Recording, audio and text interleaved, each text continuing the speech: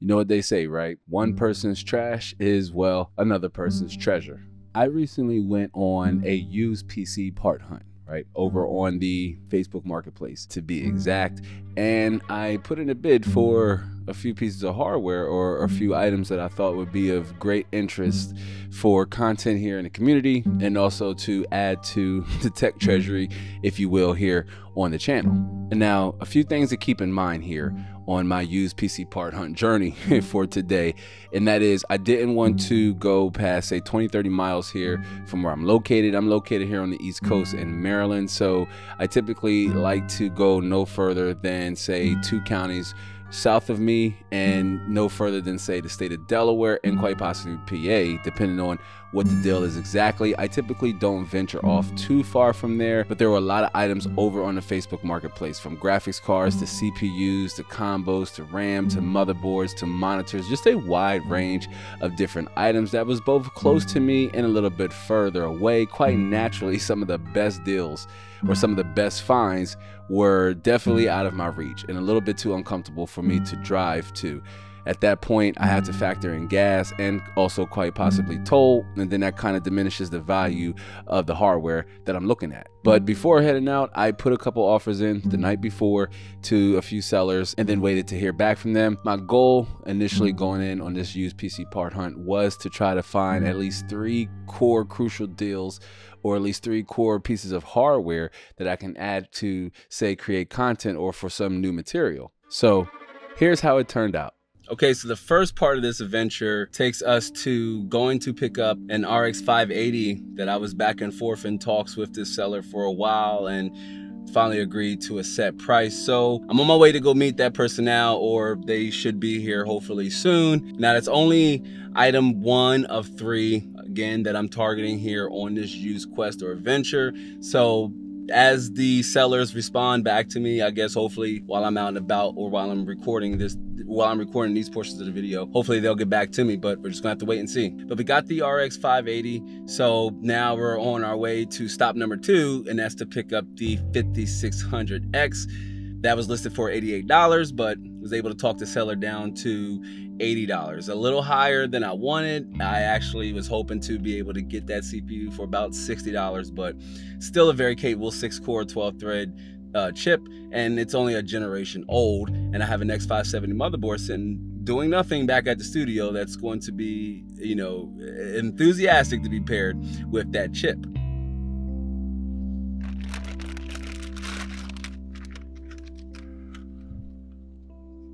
Okay, so now we just got back from stop two.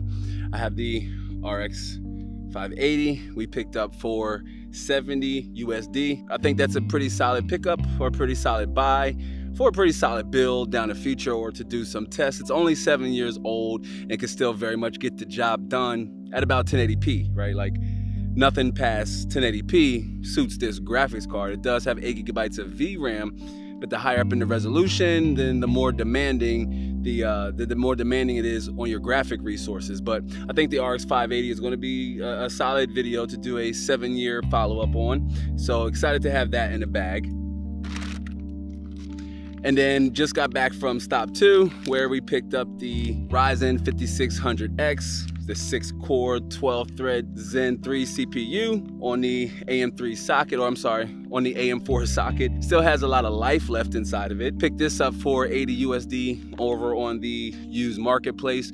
I had a deal in the works to pick up a set of 16 gigabytes of VRAM. The seller wanted to ship it. They were local enough, but didn't want to come down the price. So it's going to be a hard skip for your boy Lab. So I was only able to initiate two of the three deals I reached out and some of the others that I had reached out to Still hadn't got back to me, but the Ryzen 5600X, the 6 core, 12 thread CPU, very much still worthy doing a follow review on. Again, I have an X570 motherboard sitting back at the studio that can use a little attention and a little love. So we're definitely going to pair those two together and see what kind of build we can come up with. Okay, sorry, now I had to go back inside the car because it started raining. But yeah, picking up where we left off, got the RX 580 we picked up for 70 USD and the Ryzen 5 5600X, the 6 core, 12 thread Zen 3 CPU. But again, that's the only two deals I was able to capitalize on today, bringing us to a grand total of about 150 USD spent on these two components.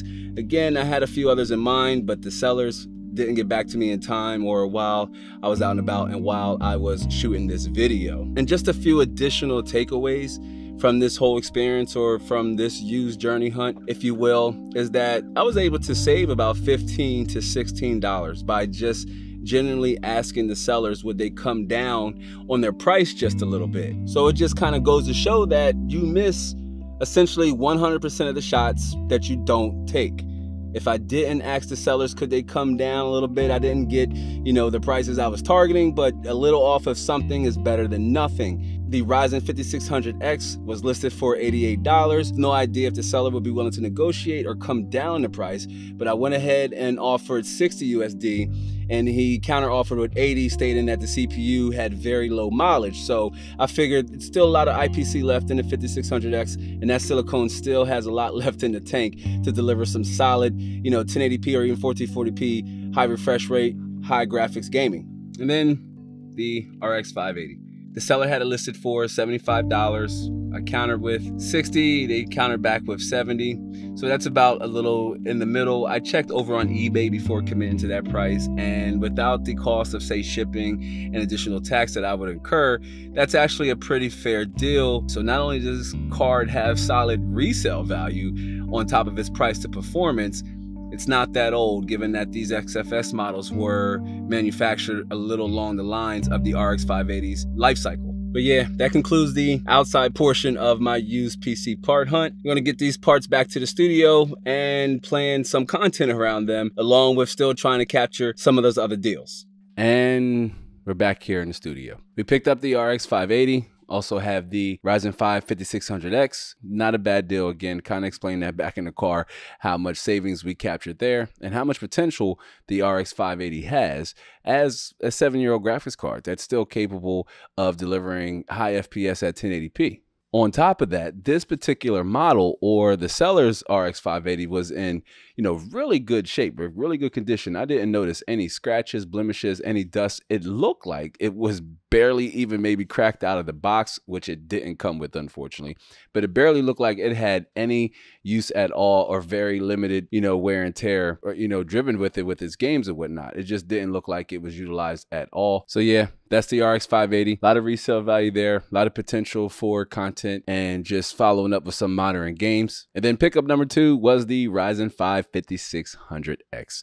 The six core, 12 thread, um, Zen 3 base CPU. The Zen 3 Stinger still has a lot of juice left in its tank. It's only a generation old. Quite naturally, I did inspect the pins. He didn't have this case. It came in a Ziploc bag. But when I got back, I took it out of the Ziploc bag, held it under one of my studio lights here, and just double checked the pins. They all looked good. You know, I didn't see any anomalies or any bent pins while I was there with the customer. But then when I got back, I put it under scrutiny under one of my studio lights and again saw no issues, no flaws. So as far as I'm concerned, this CPU is good and ready to go. I mean, these two components paired together can make for one heck of a gaming system that would be able to run most of the games games that gamers find popular over on Steam, from Destiny 2 to Red Dead Redemption 2 to The Witcher 3, Apex, Fortnite, exactly, Minecraft, you know, all the popular gems, Call of Duty Warzone. So, this CPU and the RX 580 has a lot of potential. And while again, I was unable to hit my target or hit my mark of trying to find three crucial or critical deals to snag over on the Facebook marketplace, I say two for three or two out of three isn't that bad, especially consider what we were able to snag and how much we were able to snag them for. The RX 580, XFX RX 580, 8 gigabyte graphics card, picked up for 70 USD, and the Ryzen 5 5600X 6 core 12 threads Zen 3 CPU, we picked up for 80 USD, not 70. I'm sorry, it was 80 USD. I wanted 60 or 70 somewhere along the lines there. I thought it would have been a, a, a solid snag if I could have negotiated down to that price, but again, all things considered, it was well worth it.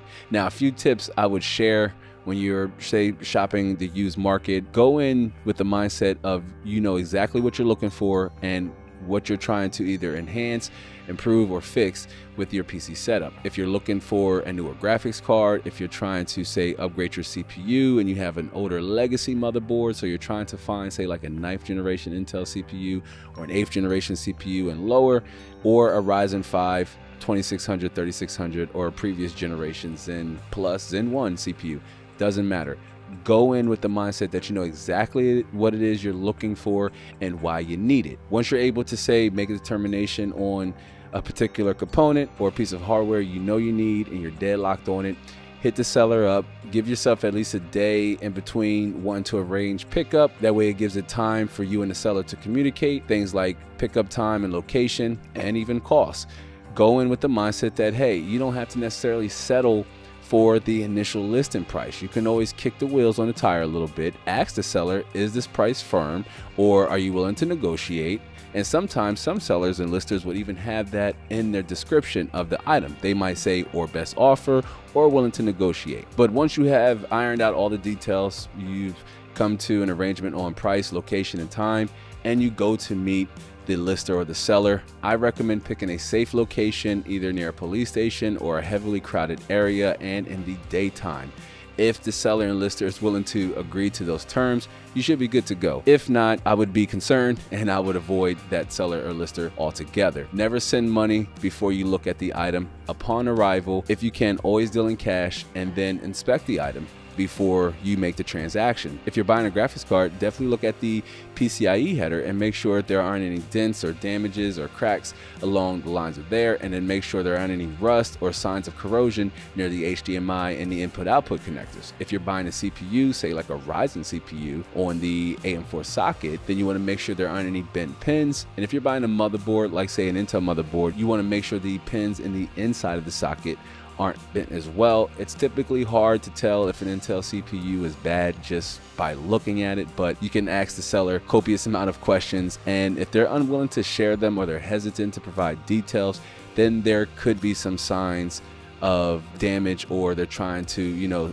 sell you a faulty part. If everything looks good, make the transaction, get back, test it as soon as you can and make sure it works as described. So make sure you go in with the buyer's mindset that you're only looking for components or hardware that you need and you're able to test them once you acquire them. If you're buying a new power supply unit, if you're buying a graphics card, if you're buying a CPU, you want to have all the other necessary components lined up so that once you get that piece of hardware, you can immediately test it out to make sure it functions. And that's all I got for this one, y'all. Thanks for this bit of story time and joining me for essentially my first documented used PC part hunt.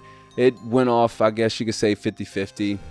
It wasn't too compelling or exciting, but just a kind of future glance into some of the hardware stories that we could be coming with here on the channel. But that is essentially all I got for this one. If you haven't yet, hit the subscribe button for me with the notification bell turned on. I hit a wall, and with your help, we can break through it. I do hope to catch you all in the next one. So until then, be easy.